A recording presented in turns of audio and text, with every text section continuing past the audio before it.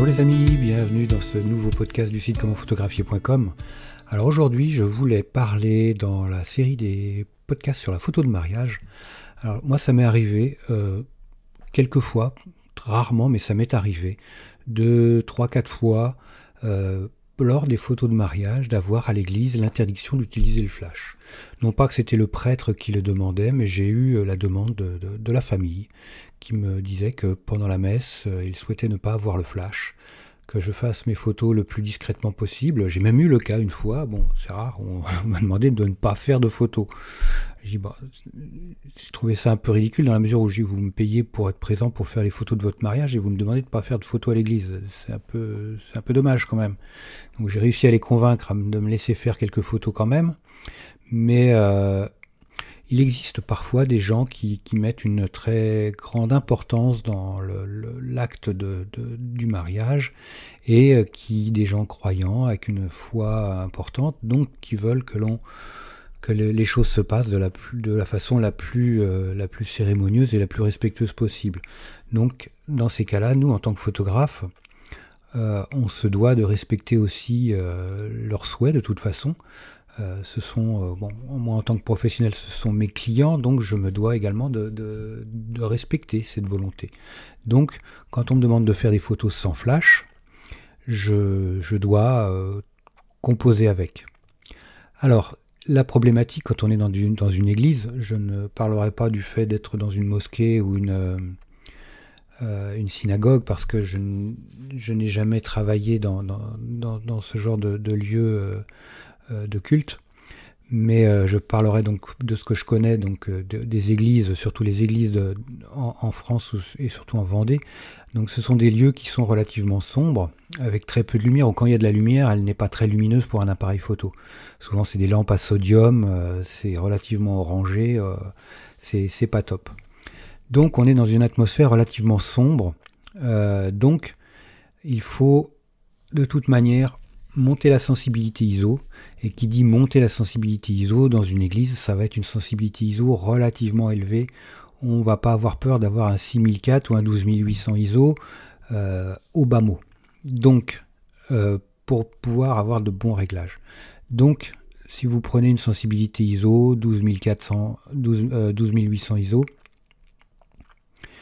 euh, vous allez mettre une vitesse, mettez-vous en mode manuel, mettez une vitesse qui va être aux alentours du 60e de seconde. Bon, il n'y a pas beaucoup de mouvement, il n'y a pas beaucoup de dynamique au niveau de l'église, euh, si ce n'est à vous de faire attention de rester bien stable.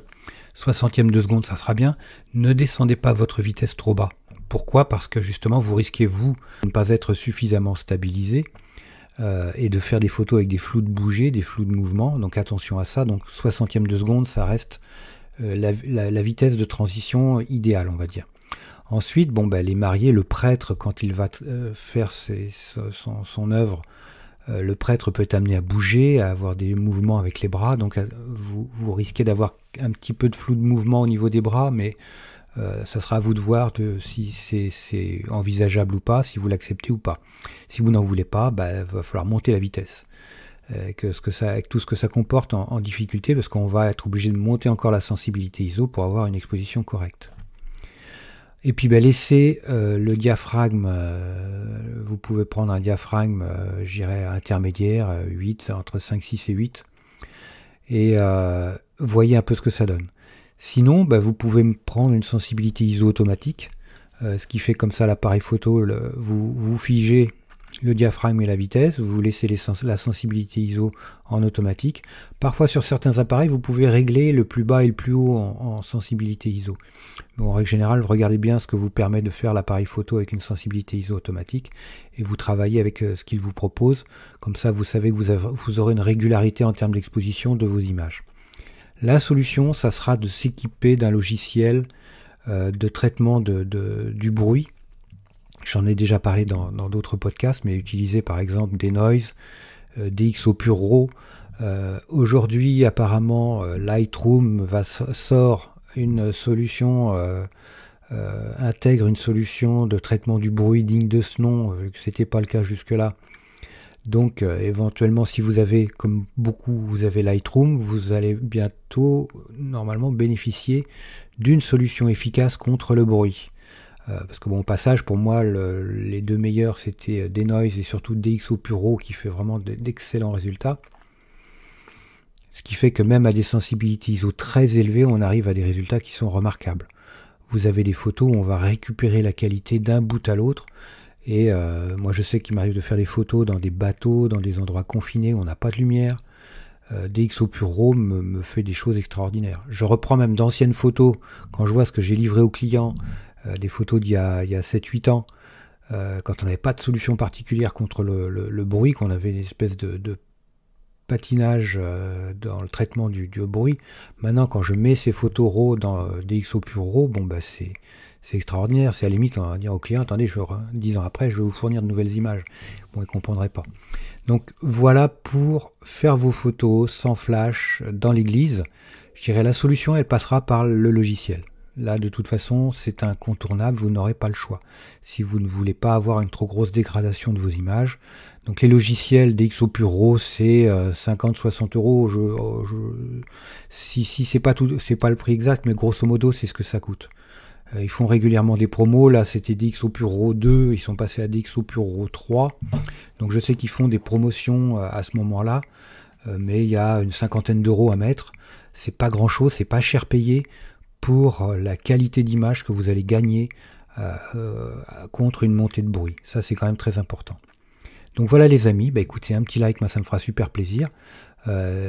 au passage, dans les commentaires, si vous avez des remarques, des, solutions, des astuces, n'hésitez pas à les partager dans les commentaires. Moi, ça me fera, ça, fera plaisir à tout le monde.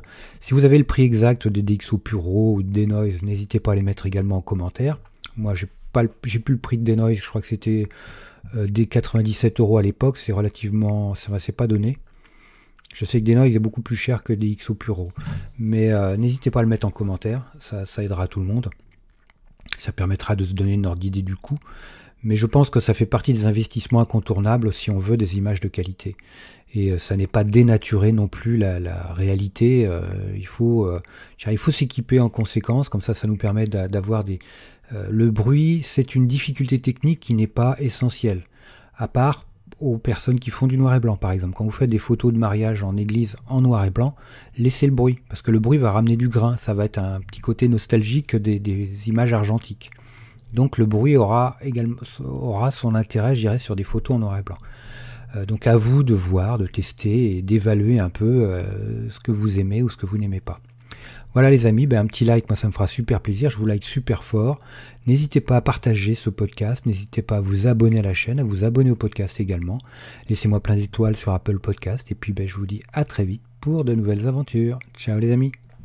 Dernière petite chose avant de se quitter, euh, si ce n'est pas déjà fait, je vous encourage à faire partie de ma liste de contacts pour bénéficier d'un conseils, de conseils quotidiens, d'astuces photographiques, euh, de choses euh, vraiment utiles et intéressantes à connaître, à savoir, ou euh, à se faire rafraîchir la mémoire sur certaines, certains sujets, il y a toujours un, intérêt à avoir un, petit lien entre nous au, niveau quotidien. Il y a aussi quelques réclames commerciales, je dirais, de temps en temps. Voilà, donc n'hésitez pas à aller voir sur les formulaires du site comment-du 6 photographier.com. Vous en avez euh, sur les articles au niveau de la colonne de droite ou autrement en bas d'article, vous avez des formulaires un peu partout et vous pourrez comme ça ainsi faire partie de la liste de contacts. Autre chose également, actuellement, il y a 50% de réduction sur toutes les formations du site commentphotographier.com.